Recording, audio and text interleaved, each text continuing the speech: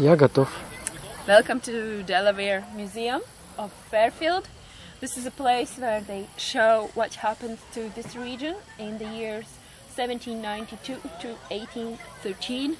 And tonight we will have a candlelight tour to show what happened to native people because the museum is celebrating its 50th, uh, 50th anniversary. Welcome. We're in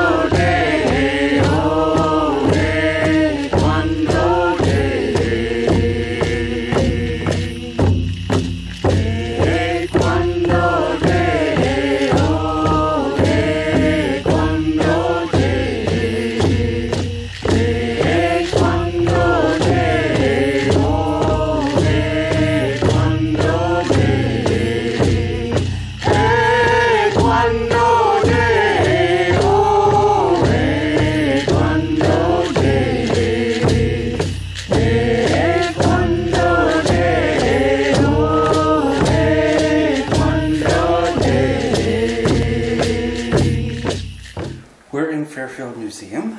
Uh, this is uh, a camp which uh, reenacts uh, the 1812 Battle of Tecumseh and the defeat of Tecumseh and the, the skirmishes between the British and the English, or the British and the Americans.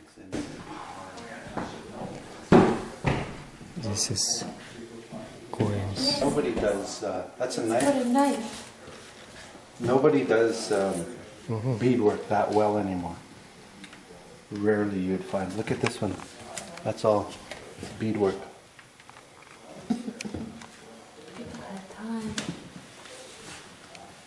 An old maple syrup jar which was excavated by Protestant missionaries. So you can still see maple syrup traces on it. Here you can see how they made the syrup from maples, how they boiled it. Moravian Fair. It was already when they crossed the river and rebuilt their lives there.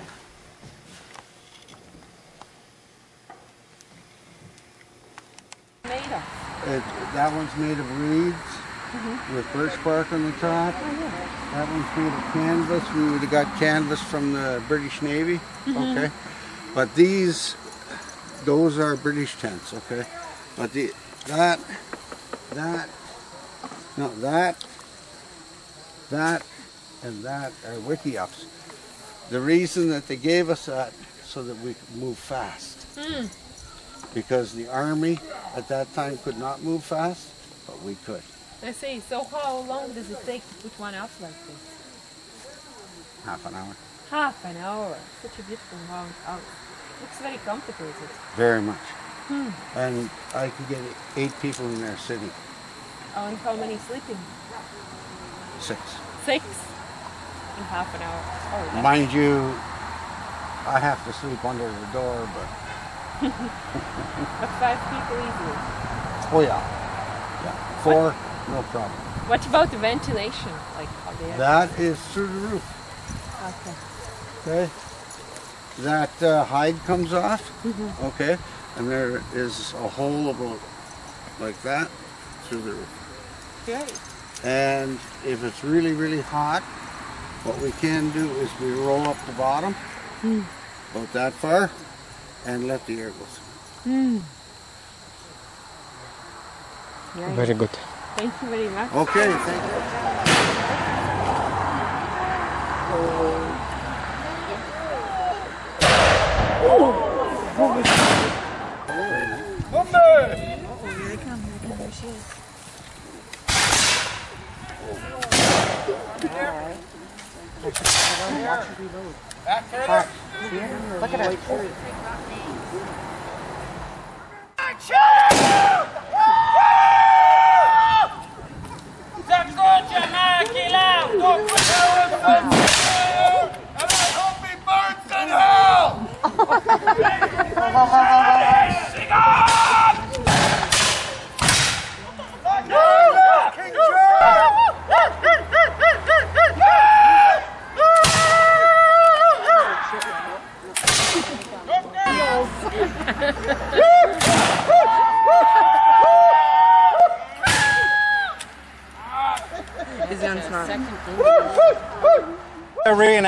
reenactors, and I would like to introduce themselves.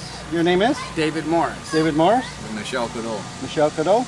I play uh, Chikomi, and my name is Chris Polkamp. Okay. Now I play Tecumseh usually in the United States. And uh, I don't know if you remember this, but I think I've met you I think so. You're in very uh, familiar. at the um, uh, Sportsman Center. Yes. We did. Yes. You did? That's where I met That's wonderful. That's right. Yeah. I remember. Boy, it's a small world. Safe, got a good memory. Yeah, that's anyway, right. this winter. last please, please explain to my friend here of your reenacting. Okay, well, that's an interesting. Where do we begin? Well, in 1812, of course, the 1812 to 14, there was a very large war that went on here. The Americans were trying to take the British territory that would later become Canada. And at that time, the British were very busy fighting this little short Napo- uh, Frenchman called Napoleon. They couldn't send many redcoat British troops over here. So the Americans said, it's merely a matter of marching, and the rest of the continent will be ours. But they forgot something. They hadn't been treating First Nations people very well in the States, where the only good Indian was a dead one, basically. And um, so Tecumseh was a very famous native where he and his brother, called the Prophet, gathered together warriors from the Gulf of Mexico to the Great Lakes from almost 30, over 30 different nations. And then he took the hand of the British king and said, We'll be your friend, and we'll help you protect your land if you will help us get some of ours back. So, throughout the War of 1812, the British, with the assistance of First Nations allies, were able to stop the Americans from taking over what later would become Canada. And without their help, this would be a state, not a province today. it's pretty likely. There was thousands of warriors in various times coming and going that fought as allies to the British or Northern. That's what we represent in our group, the different natives that fought with Tecumseh as allies to the British during the War of 1812. That kind of explains what we do. So we're in a lot of reenacting battles like we were in today. Yeah.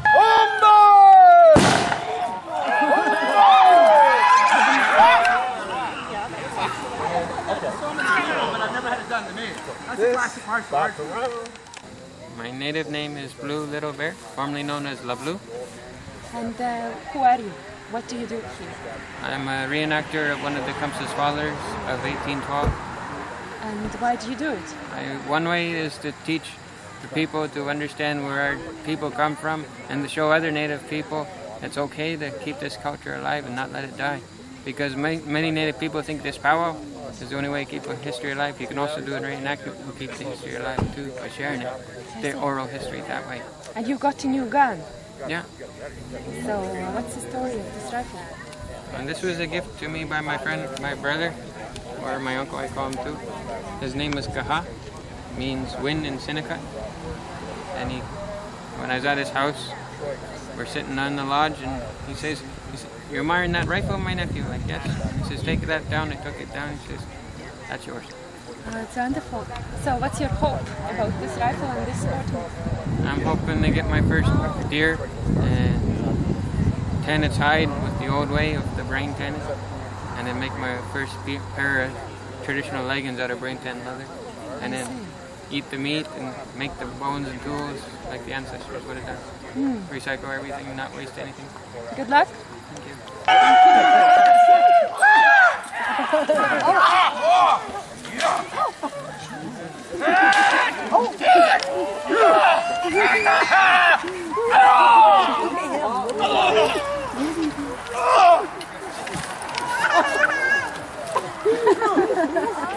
you.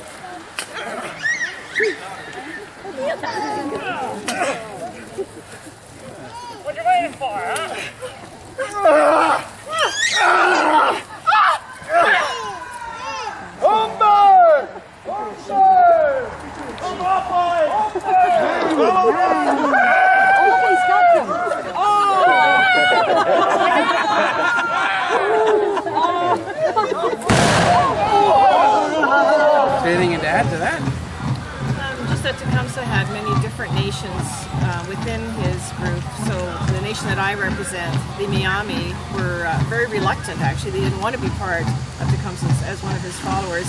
And near the end of the war, they became part of it. So um, each one of us take on one different nation, and so mine is the uh, the Miami people, and hence the, we all dress according to who we are and, and who we represent as well. Now- Miami, Miami in English. That's the, that's the Miami. Miami okay. yeah. I was just wondering, uh, Yeah. the Miami. Yeah. Yeah. With, with, with that, I was just thinking, because during that time in the Florida, there was a lot of people. That was actually the very first, uh, the first wave of smallpox. American Commander! It's cold and it's not mine!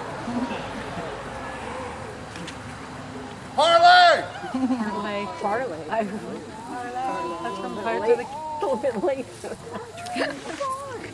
got nothing but a utility knife. I'm not armed. I have no powder. Oh, your people. The leader of the village. Give me time. Go safely. How much time do I have? You have one hour. One hour? One hour. I've got babies. There's babies in the village. You have two hours. Nightfall. Go to the village. Nightfall. We'll leave fires burning and food in the pots. Give us nightfall. You have till nightfall. Nightfall. Thank you, sir. Your Honor, and my thanks to your president. May I say one more thing, sir? May I speak? Yes. The dead shall rise!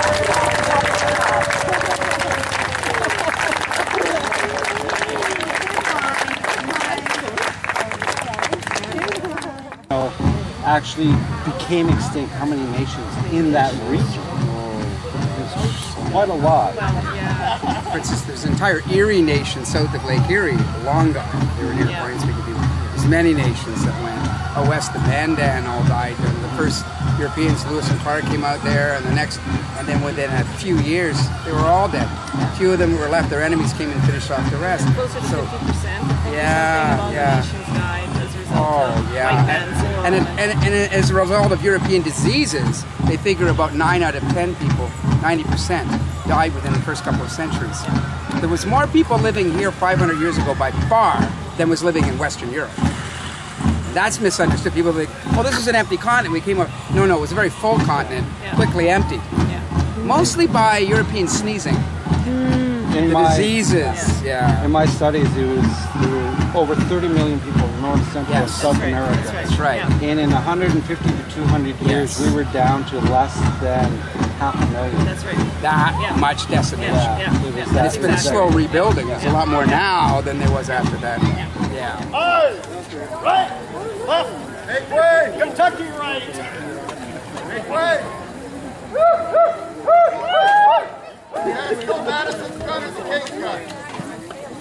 We gotta humble ourselves in the eyes of the. We gotta bend down low. We gotta humble ourselves in the eyes of the locust. We gotta know what she